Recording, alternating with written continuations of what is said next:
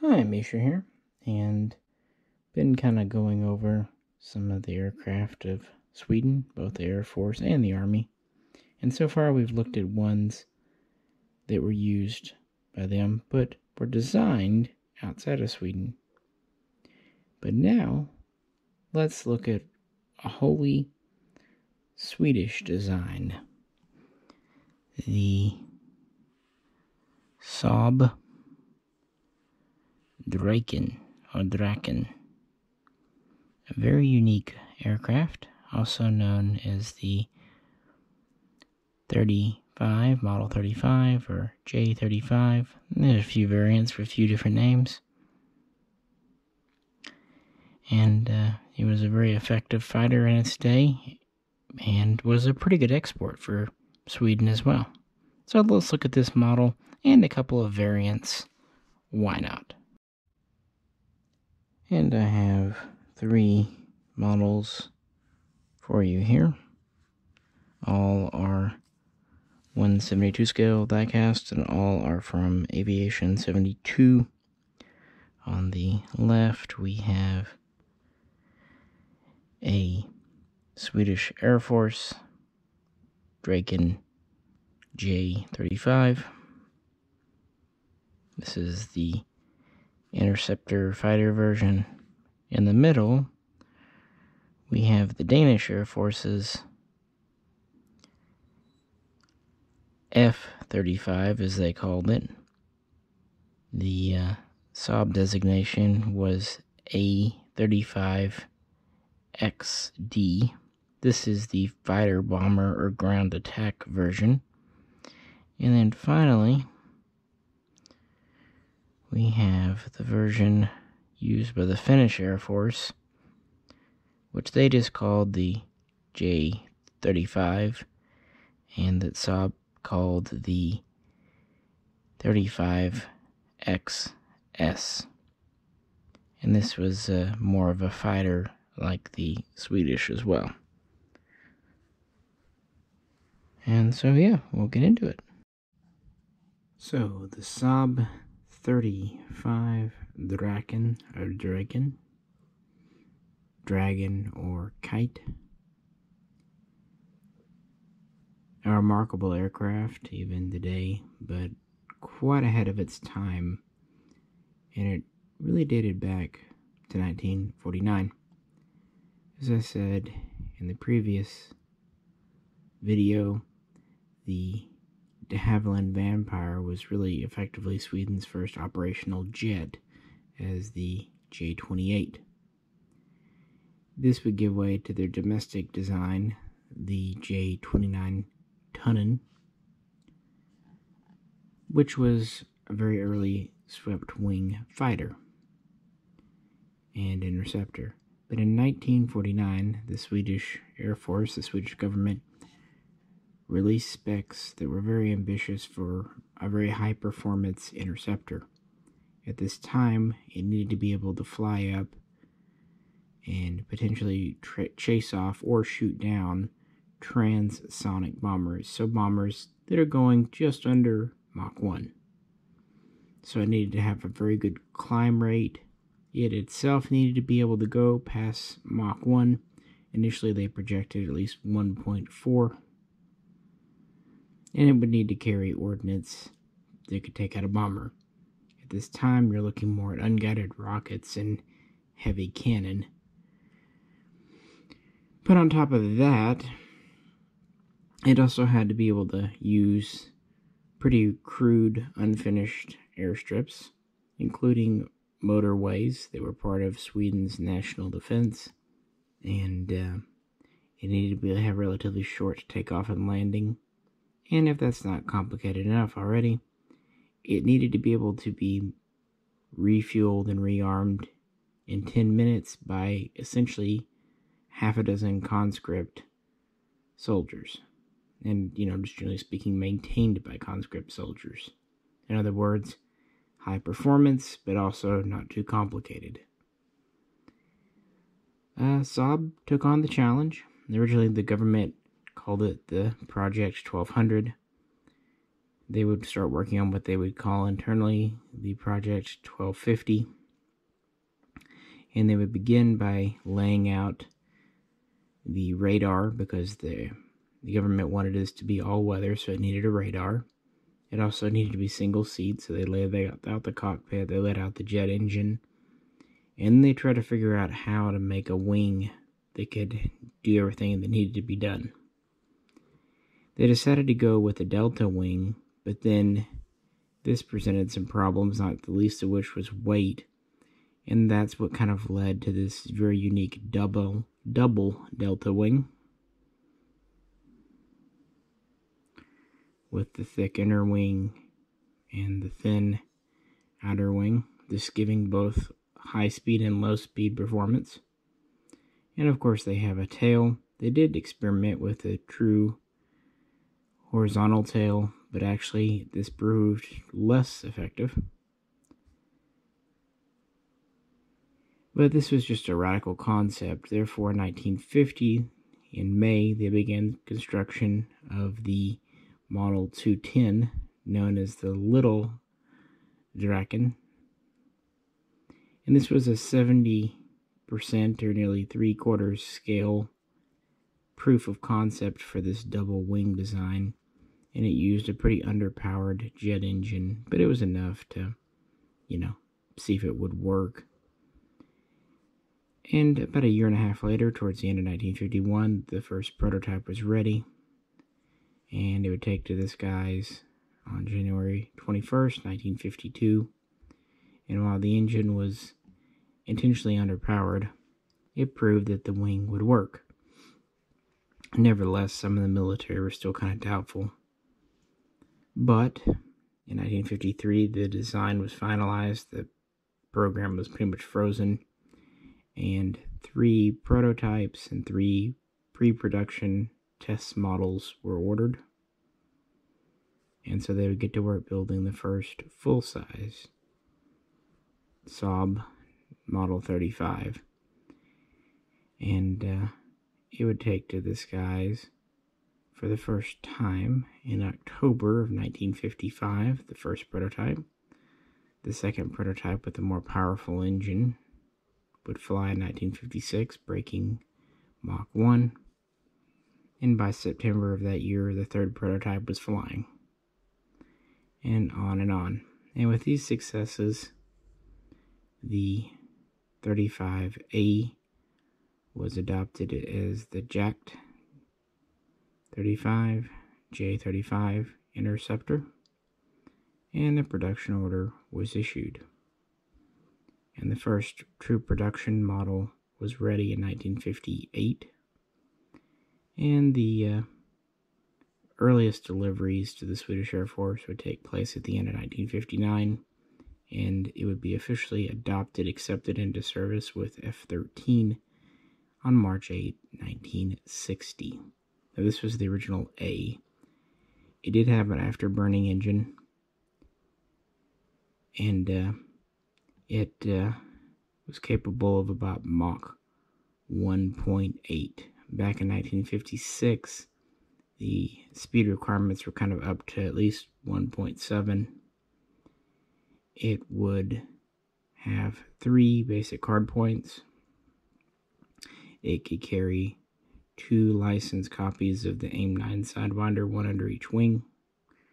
It had a centerline hardpoint that could either be a drop tank or a double pylon to carry two more sidewinders. So up to four missiles. But really, its primary armament was still two 30 millimeter cannon with about 90 rounds each. But even as the first squadrons were training with this, the 35B was coming online, it dated back to 1956. It had a more powerful engine. Honestly, the 35B was pretty ambitious. They were going to go. By the way, the 35A used a, a French radar set, at least components of it, like in the Mirage. Well, the B was to have a Swedish radar set and a more powerful one. It was to have a more powerful engine, better avionics, But it didn't really work out that way. Everything wasn't ready. So when the 35B hit the scene in 1961, it was a little bit faster, about Mach 1.9, and uh, it could carry a couple of 75 millimeter unguided rocket pods for head on attack. It also had improved ejection seat and things.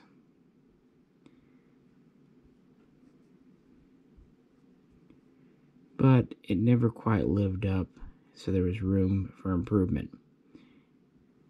Now, next we have the SK 35C. The SK for school, meaning trainer. And a trainer was ordered early on, at least the front end section was ordered on ordered.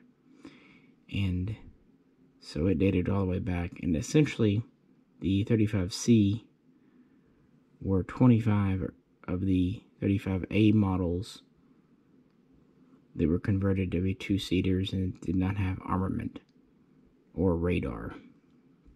And these would actually enter into service quite early on and serve up through 1985 training pilots.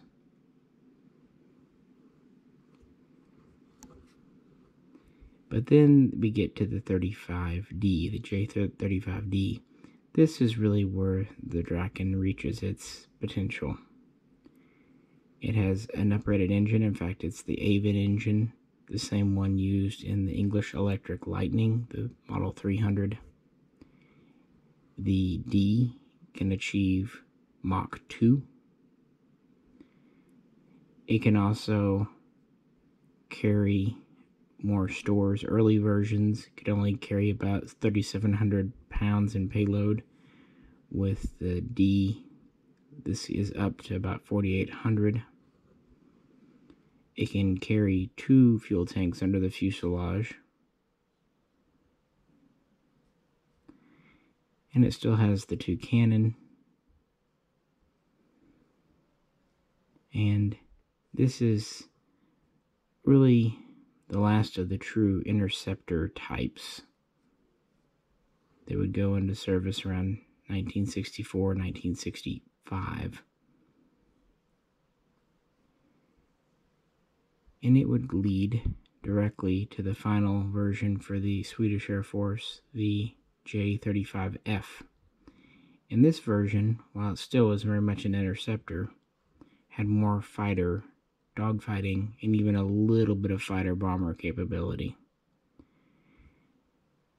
They would wire the wings to fire a Swedish version of the Falcon missile from America, but it was a much improved Falcon. In fact, there are two different types they would use. It had more fuel, it had a further uprated engine, sorry. One thing they did, would do with the Ds, they would continue on to the F models. They would extend the uh, intakes out a bit. They would also go to a bulge canopy with the F. They would further improve things like the ejection seat, the autopilot, other bits of the avionics. And by this time, it can carry over 6,000 pounds in stores, including additional fuel, these aircraft can climb past 65,000 feet. Overall, they're about 50 feet long with a wingspan of just shy of 31 feet.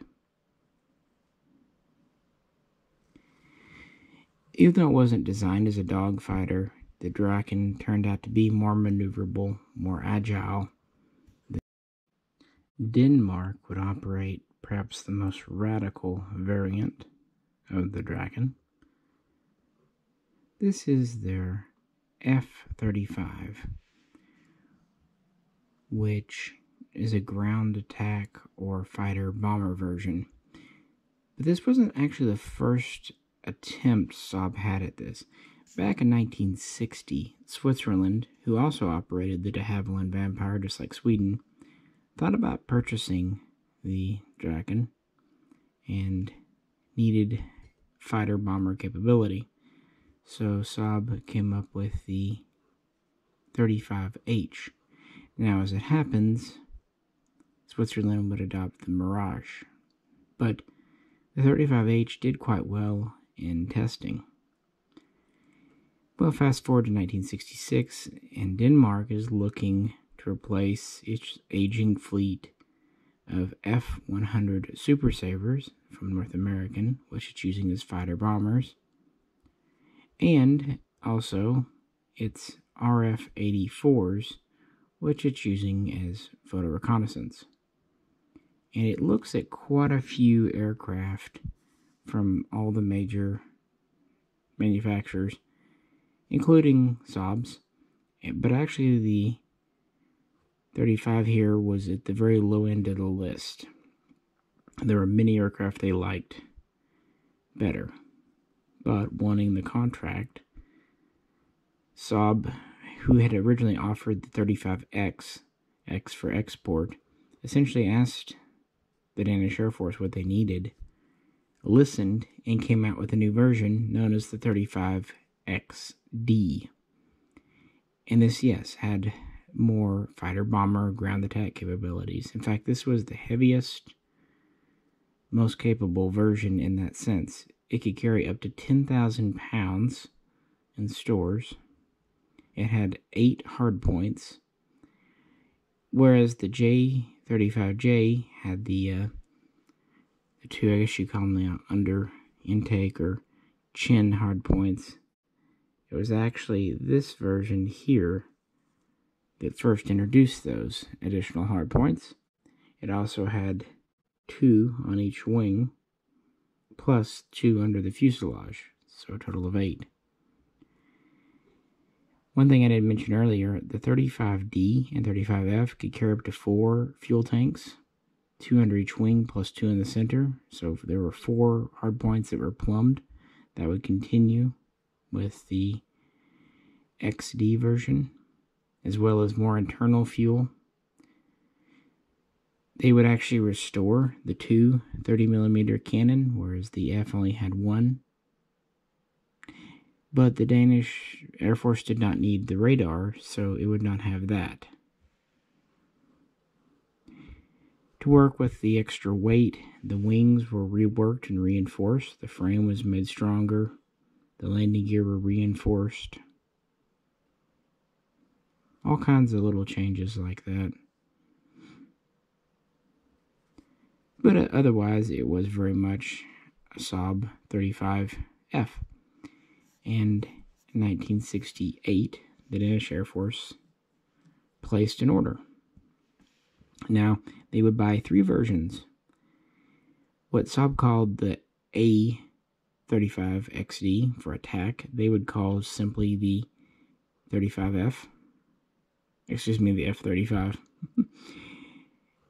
then they also needed a two seat trainer. Saab would, uh, you know, this is the same as the SK 35 XD. They would call this the TF 35. And finally, they would need a reconnaissance version. Saab called this the S 35 XD. And the Danes would call this the RF 35. Now, interestingly, whereas the Swedish reconnaissance version was not armed, the Danish version was. It still had the two cannon instead of seven cameras, it could hold only five, and it could still mount underwing munitions for defense. So it had a secondary role where it could be used as a fighter. Likewise, their two seat trainer, well, that's primarily what it's for, retained one cannon, and it too could carry underwing stores. They would originally order 20 of the F 35, 20 of the RF 35, and 6 of the TF 35 and the first delivery was for three planes on September 1st, 1970. And then in 1973, they would buy five more surplus 35s from the Swedish Air Force, and they wouldn't plan to fly these, they were just hulks for spare parts. And with that, they would uh, they would start using these and replacing their older aircraft. They would do a major uh, update in the early 1980s, giving them newer avionics. They would give them a laser rangefinder and even designator. They would give them radar warning. Electronic countermeasures were being improved, so on and so forth. Now, I've kind of customized this model. I had a couple of leftover bullpup missiles, and these aircraft actually carried them. They actually could carry just about any standard NATO stores, iron bombs, rocket pods, but they could carry the guided missile bullpup here. So I used empty pylons and glued them on and put them there, and there we go.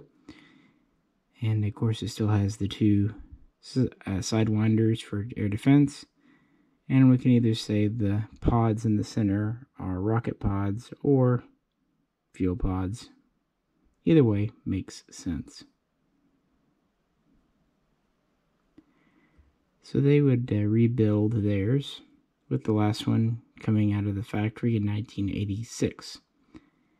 And much like in Sweden, they plan to keep these in service for quite a while, but post Cold War cutbacks meant that by 1991, they only had one active fighter squadron using these and one active reconnaissance squadron. And then in 1993, these would uh, finally retire their Drakens. However, two are still, as far as I know, even now in Denmark. Even though they're not flying, they're kept ready just in case. On top of that, in the 1990s, six were sold to the USA. The uh, National Pilot Training School bought six. They bought two two seaters and four reconnaissance single seaters and at least three of these are still flying today. So the U.S. actually ended up with some of the Danish Danish dragons. and again they would have a total of 51. They would actually have one more order for uh, for trainers in the 70s. So they have 51 aircraft they would fly, plus they would have five Hulks to strip for parts just for whatever that's worth. But yeah, they really kind of pushed it in a different direction, kind of totally different from the original concept of a high performance interceptor, making it into a very capable fighter bomber.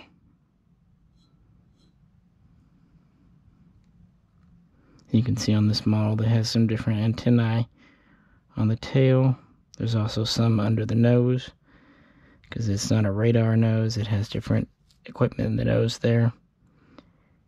And again, I fitted it with two bullpups because, I don't know, seemed fun to me. with that, let's move on to our third and final Draken today. And this is actually the first Draken I got quite a long time ago. This is from the Finnish Air Force just a short time after Denmark was shopping.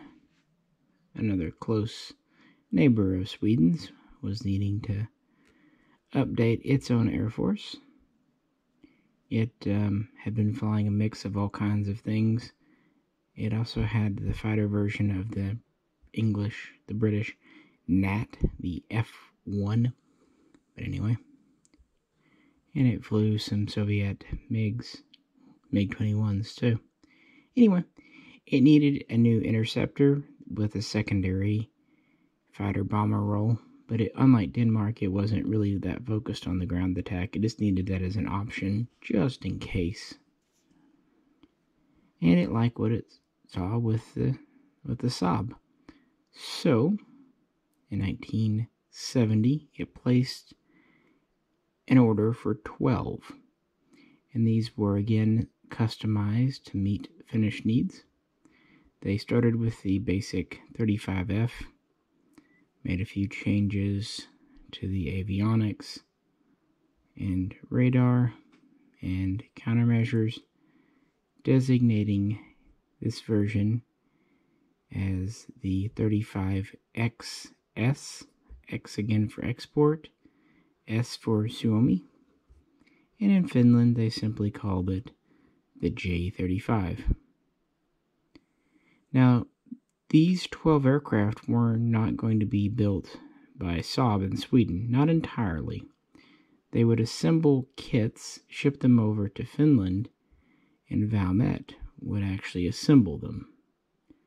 But this would take some time. So, in the interim, 1972, Finland would lease six surplus J-35Bs. At this time, they're they're being retired out of the Swedish Air Force, so they would lease six 35Bs, mostly for practice and training and familiarity. In fact, they really stripped out most of the combat equipment from these. And uh, in 1974, they would ask for a seventh one because they had a little bit of an accident. The aircraft wasn't destroyed, but it was damaged enough that it was grounded. So to still have half a dozen, they would lease a seventh 35B. And then the next year, 1975, the uh, 35XSs would be assembled by Valmet and enter into service. And then after that, the Finnish Air Force would negotiate to just purchase the total of seven 35Bs. They seem to be rather pleased with the aircraft. And on top of that, they would acquire about half a dozen Swedish Air Force surplus 35F models. These would be slightly changed to be FSs for Suomi again. And they would get three of the uh, SK 35Cs, designating these, as you would expect, as 35CS. So they would have a trainer. Now, one thing worth pointing out, I talked about Denmark. The um, the two seaters that Denmark got in their last order placed in 1973 and that were delivered between 76 and 77 really were the last all new production Drakens to come out of the Saab factory. And even these were assembled using existing frames, tools, components because by this time, the mid 70s, they had pretty much switched over to Viggen production. They were still very much maintaining and uh, supporting the Draken, but they were not planning on making new ones. So the ones that Finland they're picking up, these are surplus ones that have been reconditioned. Finally, in 1984, they get the last batch. They buy 18 Swedish Air Force surplus 35Fs and two more Swedish Air Force two seaters because this is the time that the Swedish Air Force is finally retiring the Cs in 1984 85. And this is also when the Fs are being drawn down, the ones that weren't selected for conversion to J35Js were being retired. So it was a good time to buy them at a bargain price. And that's one thing, the, the Draken was actually quite economical for these countries to operate but still gave them a very potent jet. Now this model here from Finland, again, aside from some avionics and whatnot, it's uh, pretty much a 35F. Now as far as I know, the Finnish versions never had the pylons here under the engines. Let me know if I'm wrong. So they just had the wings for missiles and then the underbelly for tanks or additional missiles. I looked a lot to see if they ever added those additional pylons, and I don't believe so, but if I'm wrong, please let me know. It took me long enough to find out that the Danish 35Fs actually had them, which they did. To that end, uh, beginning in oh, the 1990s, Finland would update their own aircraft, pretty much doing what everyone else was doing with the Dragons. They were adding new avionics, uh, modern countermeasures, um, you know, modern electronics in general. Is worth pointing out that the Finnish version did have a radar, unlike the uh, Danish. And they were uh, they were flying them Although by 1995, a lot of the older 35Bs and even this, many of the Cs were out of service, so they were pretty much just flying some Fs. And then in 2000, they decided to replace these with the FA 18 Hornet. And so the Finnish Air Force flew for the last time their Draken on August 16, 2000 thus kind of ending the uh, eh, pretty you know pretty major export user. They they flew 48 of these, so not an insignificant country considering how relatively small the Finnish Air Force is, and um, they really liked them. They, these countries seem to really like them. They handle well. Pilots like them. They're a little more challenging to fly, so pilots feel accomplished when they uh, you know, were able to do it, but they weren't so challenging that they were dangerous. In fact, um, accidents were pretty low considering the generation of jet that this was. But we do have one final user to talk about. And that, of course, would be Austria. Now, I don't have a model from Austria. Aviation 72 does make a couple. One is kind of in a, um, you know, air show livery, and the other one's more in a military. But uh, yeah, three three's enough for me, and I actually bought these over a few years time period at that. But Austria was really the last user. They had actually been flying Saab's J29 Tunnan in the 1960s, and then finally they just they had to retire them in 1972, and this left them without a dedicated interceptor. And they did absolutely nothing about this for over 13 years. Austria's political position was a little unusual at this time. They were under a lot of restrictions because of the events of World War II. And so this wasn't such a big deal. But finally, after kind of eh, detente in the 1970s, as tensions started to kind of rise up in Europe again a bit in the 1980s, they decided it was time to to get a new fighter. But at this time, they could they couldn't have guided missiles on their fighters, so they needed something with cannon. Well, that doesn't really give a lot of options. By this time, a lot of planes don't have cannon, or they maybe have one. So, looking around in 1984, by 1985, they select the Draken. And these are long out of production now, almost a decade out of production. So what Saab does, they buy back 24 surplus J35Ds from the Swedish Air Force and they refurbish them. They basically give them a, life extension, airframe extension, a thousand hours extension. They also go to the new canopy, which I guess I didn't talk about. The early ones had kind of a framed canopy, the 35As, Bs, Cs. But by the time of the F, they went to this more bulge canopy, which first appeared in the 35E, I believe. Not only did it give better visibility, it also was bird strike proof, so less likely to shatter which is a good thing. So they did give the newer canopy to the 35Ds that were going to Austria. They also reworked their guns for better reliability, and as usual, the radar and avionics. And this was designated as the Saab 35O, O for Austria. So 24 were delivered, the first one in 1987, and then in 1988 and 1989, two fighter squadrons would train and begin flying these. They also purchased some reconnaissance pods.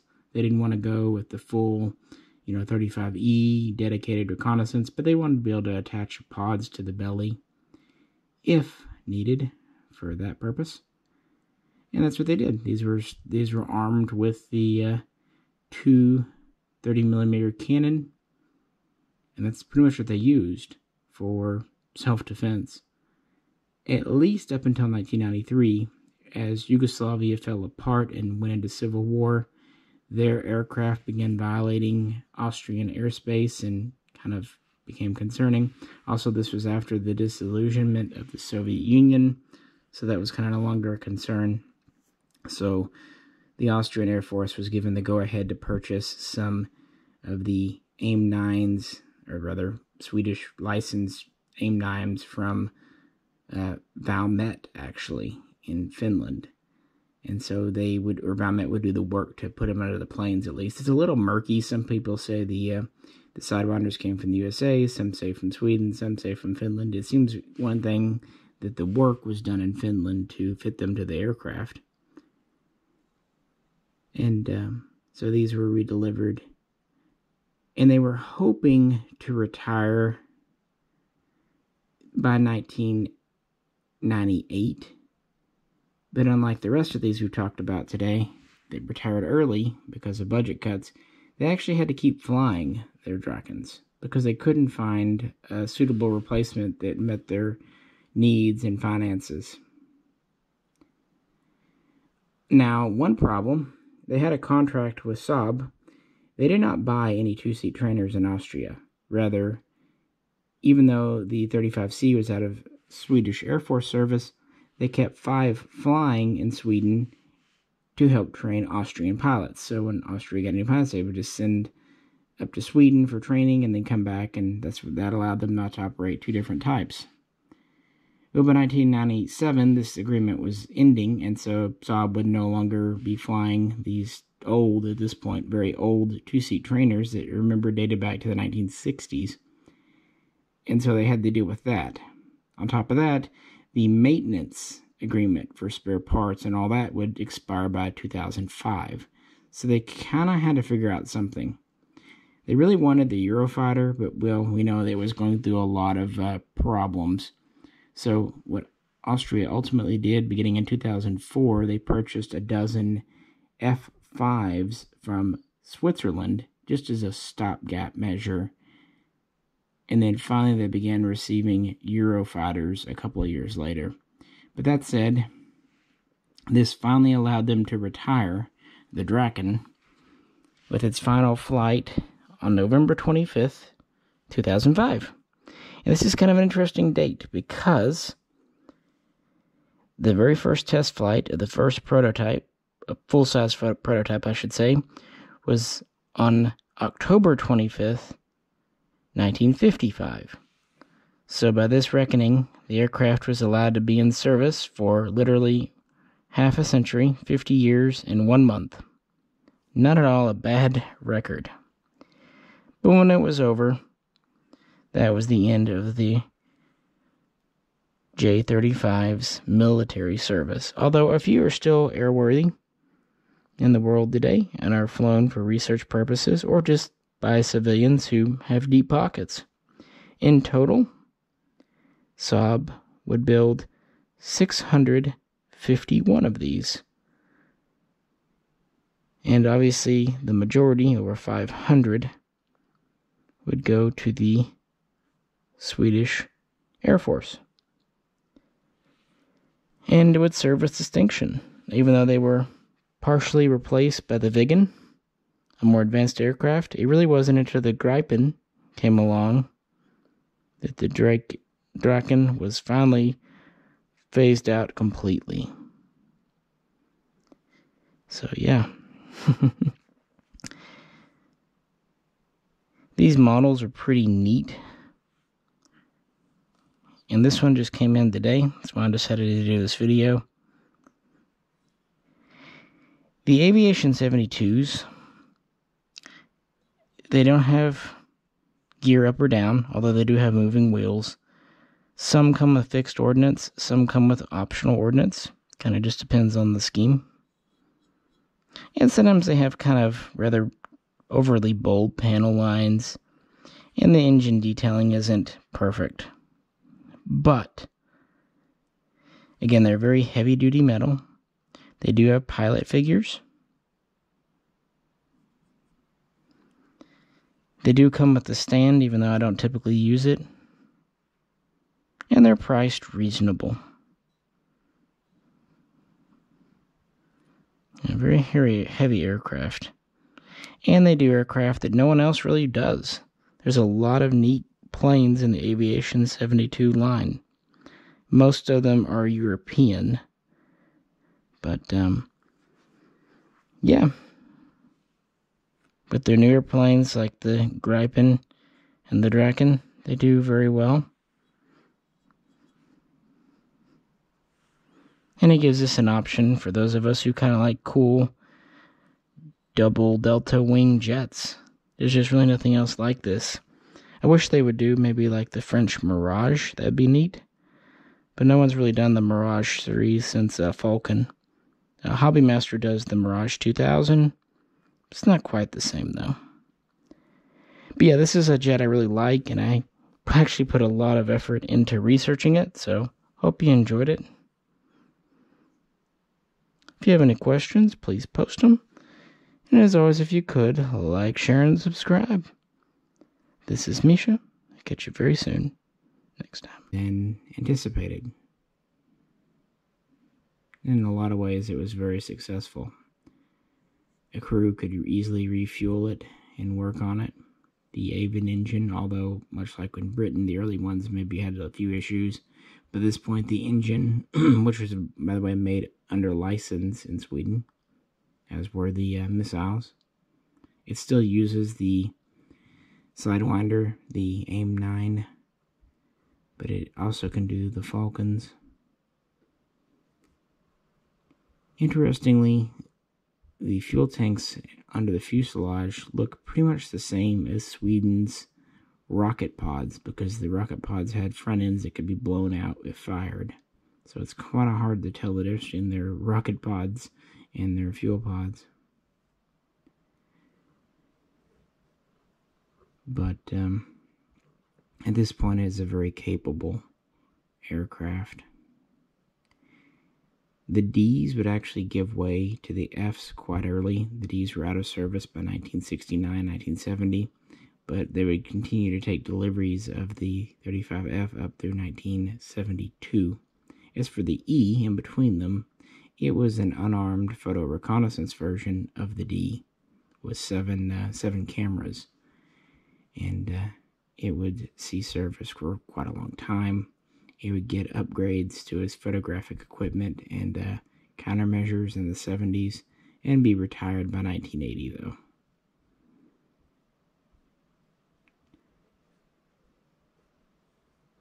So really just a uh, very good aircraft.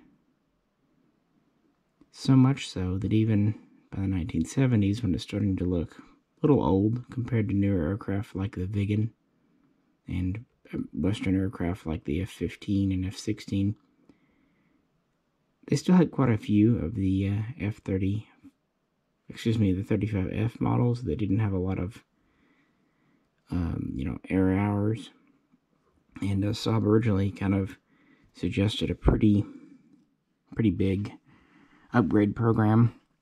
But in the end, in 1985, the government, the Air Force, approved a little bit more of a scaled back. They would have 54 35Fs updated with again new avionics, a little bit of engine work, computer work, countermeasures work and they would have two new pylons under the uh, engine exhaust or the engine intakes here, meaning that they could uh, carry a little bit more, a little more versatility.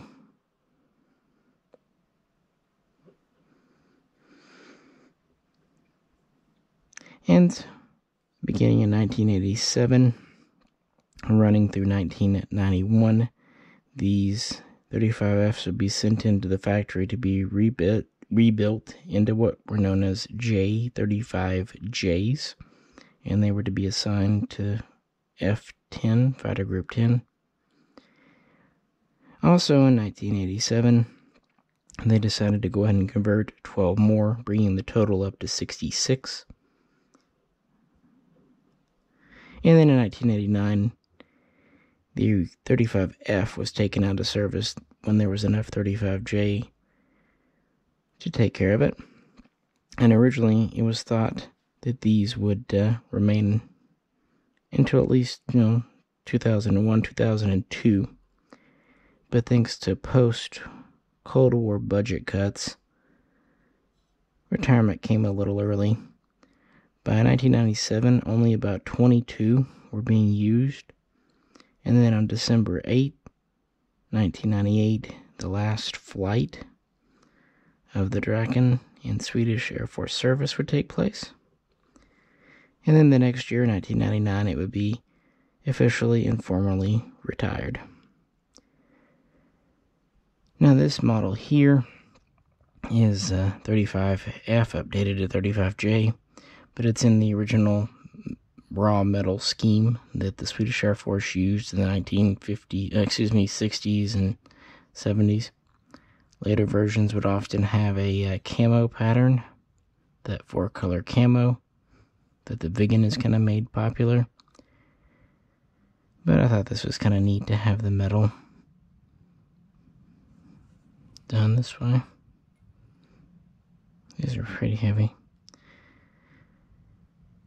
It came with the ordnance already installed. It had the two sidewinders and the pods, but it actually had empty pylons on the wings. And just for fun, I put uh, put Falcon, or the Swedish version of the Falcon, upgraded Falcon, on there. Just to give it a little more interesting goings on. So this is definitely outfitted in kind of a air to air role. While of course Sweden expected to use these against the Soviets if war ever were declared, they were very much in favor of their neutrality. So they had, you know, plans, contingencies to use these against Western aircraft too. But of course, in the end, they never had to fire in anger. One thing to note about Swedish jets like this, because of their mission profile, they did not have the capability of aerial refueling. That just wasn't something that was needed for them.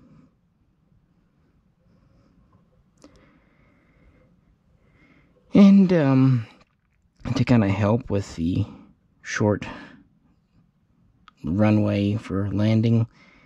They uh, they had a parachute, a drag chute in the back, and they could land in under 700 meters. So not terribly short, but also for a, a Mach 2 aircraft, not bad at all. They have kind of an interesting wheel arrangement. There's a couple of small little wheels under the exhaust to keep it from dragging. Then we have the usual tricycle arrangement.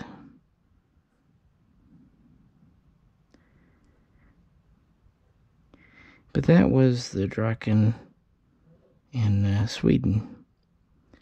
But there were three major export customers.